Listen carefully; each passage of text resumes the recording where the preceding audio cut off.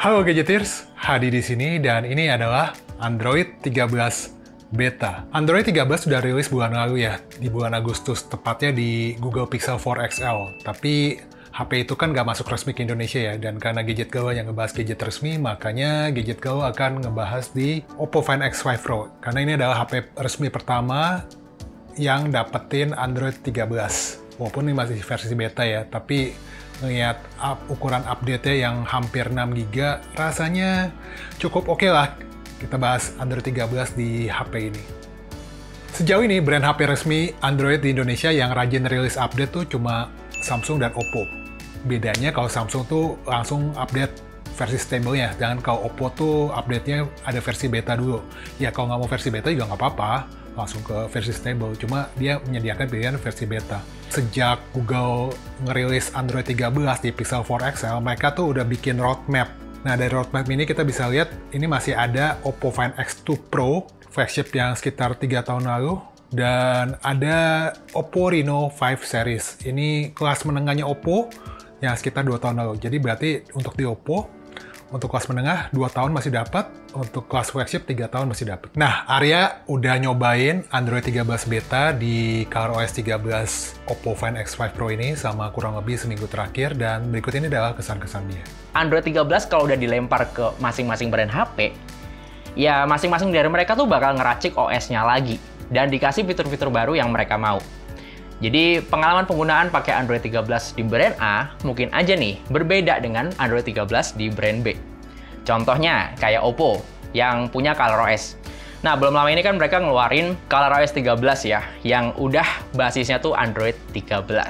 Dan di sini tuh saya mungkin bisa cerita pengalaman pengguna yang lebih banyak gitu ketimbang Android 13 versi murni yang ada di Google Pixel series. Karena ya Oppo dengan ColorOS-nya tuh uh, seringnya ngasih fitur-fitur eksklusif yang mungkin nggak ditemuin di UI Android lain. File update Android 13 di Oppo Find X5 Pro tuh bisa gede banget gitu. Bahkan hampir 6 GB. Ini saya ketemu jawabannya pas saya udah nyobain selama beberapa hari ke depan gitu. Jadi beta di sini tuh istilah katanya kayak makanan, dia tuh udah layak dikonsumsi, Cuma tingkat kematangannya tuh belum 100%. Ya kalau untuk dipakai sehari-hari tuh udah enak, tapi ya karena beta ada bug sedikit, cuma nggak terlalu mengganggu lah. Dan hampir saya nggak nemuin glitch di bagian tampilannya gitu.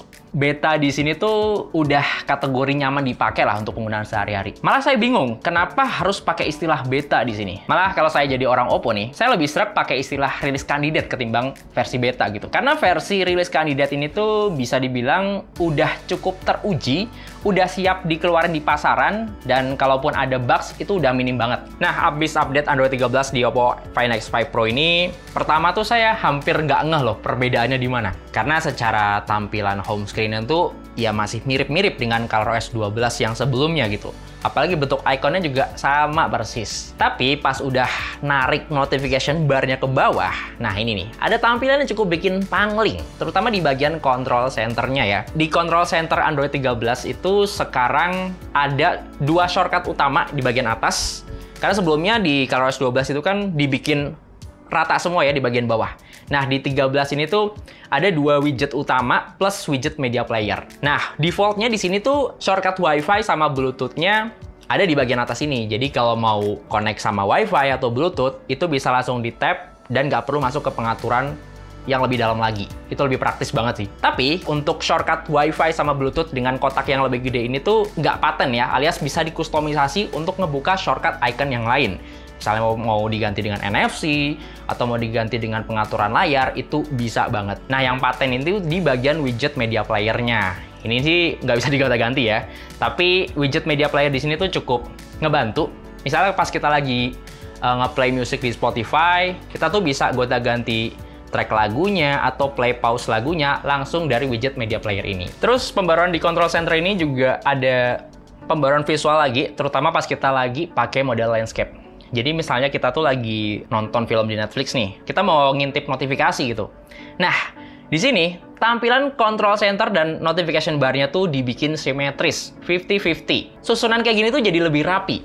Karena selama saya pakai Android, saya belum pernah nemu deh tampilan yang sesimetris dan serapi ini. Nah, update Android 13 ini tuh juga ngeboyong fitur baru di bagian home screen ya, yang mana kita bisa ngubah ukuran folder jadi lebih besar. Ini nggak cuma sekedar ngegedein ukuran folder doang ya, tapi secara fungsi, kita tuh bisa ngebuka aplikasi dengan lebih cepat. Jadi, misalnya kita mau ngebuka salah satu aplikasi nih di folder, misalnya ngebuka Netflix. Kita tuh nggak perlu ngebuka foldernya dulu terus ngetap Netflix, tapi bisa langsung ngetap Netflix dari tampilan luar folder. Ini sih asli praktis banget sih. Nah biasanya kan tiap ada update Android gitu kan, saya suka ngecek-ngecek wallpaper baru ya. Dan di sini tuh saya nemu satu wallpaper yang cukup unik dan nggak biasa gitu. Jadi di sini ada wallpaper yang gambarnya tuh tanaman. Dan sebelum kita ngeset wallpapernya tuh, kita mesti ngeset screen time-nya. Itu mulai dari 1 jam sampai 22 jam. Saya masih bingung, ini ngapain ngeset screen time gitu. Ini waktu itu kan saya pilih yang 3 jam lah, karena rata-rata saya pakai screen time HP itu ya kisaran 3-4 jam.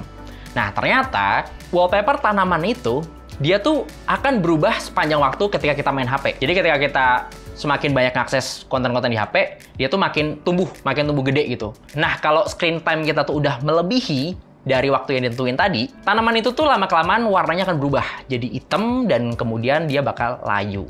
Nah, dari sini tuh saya nemu pendekatan cukup menarik ya dari wallpaper ini. Ini kayak ngajarin kita tuh, kita tuh kayak jadi terlalu edik gitu sama HP. Ya filosofinya kayak tanaman ini. Kalau udah terlalu melampaui batas waktu, dia lama-lama bakal mati dan kayak nggak ada kehidupan gitu. Nah itu cukup menarik ya. Dan yang nggak kalah menarik lagi, tanaman ini tuh warnanya bisa berubah-ubah pak. Tergantung aplikasi mana yang paling sering kita akses di hari itu. Misalnya nih, kita seringnya ngebuka YouTube. Nah, tanaman itu tuh dia akan berubah jadi warna merah. Yang tadinya warna hijau jadi warna merah. Terus saya sering buka Twitter, dia otomatis jadi warna biru. Jadi wallpaper ini tuh cukup interaktif gitu ya, ketimbang cuma sekedar live wallpaper yang bisa gerak-gerak sendiri. Lanjut, Android 13 ini juga ngeboyong fitur baru di bagian Always On Display ya. Jadi, Always On Display di ColorOS 13 ini cukup unik. Karena untuk pertama kalinya, Oppo itu ngegandeng Spotify buat masangin widget di always on display-nya. Nah, ini cukup menarik nih. Ketika kita mau gonta-ganti lagu atau play pause lagu, kita tuh nggak perlu menekan tombol power atau ngebuka lock screen, terus masuk ke aplikasinya nggak perlu. Itu bisa langsung di tap aja dari tampilan always on display. Nggak perlu takut baterainya terlalu boros juga sih, karena panel layar yang dipakai di Oppo Find X5 Pro ini kan udah pakai LTPO yang versi 2.0 ya. Jadi refresh rate-nya tuh bakal ditekan seminimal mungkin. Bahkan kata Oppo pas di mode always on display ini, refresh rate-nya tuh bakal turun jadi 1 Hz aja. Nah, di bagian always on display ini juga ada tema baru ya yang namanya Homeland. Itu tuh cukup unik sih, ada animasi hewan-hewan seperti beruang, penguin, dan juga ikan dengan habitatnya tema Always On Display ini tuh cukup berkaitan dengan uh, global warming ya. Karena pas saya lihat lagi, jadi di pengaturannya tuh dia bakal ngasih tahu kalau suhu di tempat kita tuh naik satu derajat Celcius aja, habitat hewan-hewan tersebut tuh lama-lamaan bakal terkikis dan rusak. Ini tuh kayak semacam ngasih kita awareness gitu sama uh, global warming bahwa perubahan iklim tuh ada gitu loh dan kita perlu menyadari hal tersebut dari tema Always On Display ini. Terus update Android 13 ini tuh juga ngeboyang salah satu fitur yang cukup menarik buat saya sendiri sebagai pekerja kantoran. Dan ini berkaitan dengan meeting-meeting online atau video conference. Jadi misalnya ketika kita lagi ngebuka aplikasi kayak Zoom, Microsoft Teams, atau Google Meet, di sini ada namanya fitur meeting assistant ya, yang mana dia tuh bakal memusatkan atau memfokuskan koneksi internet yang ada di HP itu khusus untuk aplikasi video conference tersebut. Dan nggak cuma itu aja, fitur meeting assistant ini tuh bisa ngubah notifikasi jadi lebih kecil tampilannya. Jadi gini nih, pas kita lagi fokus nge-zoom nih misalnya ya, kita lagi on cam gitu, tahu-tahu ada WhatsApp masuk nih. Nah, notifikasi WhatsApp ini tuh yang keluar bakal lebih kecil bannernya. Jadi supaya kita tuh nggak kedistrak sama notifikasi masuk tersebut. Next, masih ngebahas soal produktivitas. Jadi update Android 13 di Oppo Find X5 Pro ini tuh juga ngeboyong fitur multi-screen connect yang lebih advance ya, yang lebih bagus dari versi sebelumnya. Uh, anda yang biasa pakai HP Oppo, pakai ColorOS gitu ya, sebelumnya kan emang ada fitur uh, eh, PC Connect gitu ya. Dan di versi yang baru ini tuh, PC Connect-nya lebih banyak lagi fiturnya, terutama untuk tampilannya nih. Kalau dulu kan cuma bisa ngebuka satu jendela doang ya. Nah sekarang tuh bisa dibagi lagi sampai tiga jendela aplikasi. Nah tiga jendela ini tuh maksudnya satu aplikasi mirroring, duanya ini tuh kita bisa ngebuka aplikasi yang lain. Nah, dengan fitur multi screen kayak gini, kita bisa lebih gampang buat copy paste text, terus buat transfer file, bahkan untuk ngerjain file-file kerjaan yang ada di HP dan butuh layar yang lebih besar, itu bisa langsung dikonekin ke PC dengan seamless dan wireless gitu. Cuma memang untuk latensinya masih kerasa sih di beberapa scene. Ya, ini masih cukup wajar ya. Dan untuk hal kayak gini tuh saya nyaranin buat kalian tuh pakai koneksi WiFi yang lebih stabil supaya latensinya tuh nggak terlalu jomplang banget lah. Dan Android 13 di Oppo Find X5 Pro ini juga ngeboyong fitur yang lebih advance tentang privacy. Contohnya misalnya kita kita mau ngebagiin hasil screenshot percakapan kita sama temen kayak misal di WhatsApp atau Facebook Messenger, di sini ada fitur buat menyamarkan nama dan juga profile picture secara otomatis. Ini caranya gampang banget ya. Jadi pas kita lagi screenshot, terus kita pilih mode samarkan dan kita pilih mode auto, dia tuh bakal otomatis ngehapus nama dan profil picture-nya. Uh, pinter juga gitu, uh, misahin antara nama, profil picture, pengen uh, nyamarin beberapa pesannya, itu juga kita dikasih kebebasan buat ngehapus atau nyamarin secara manual. Dan ini juga gampang banget.